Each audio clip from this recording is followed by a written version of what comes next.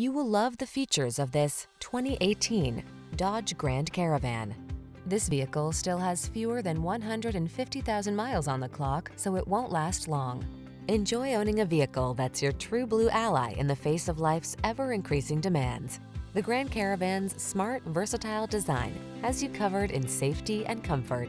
These are just some of the great options this vehicle comes with. Power liftgate, electronic stability control, leather-wrapped steering wheel, aluminum wheels, trip computer, power windows, bucket seats, four-wheel disc brakes, power steering. Make the most of your family's growing years. Get into the Grand Caravan and enjoy the ride.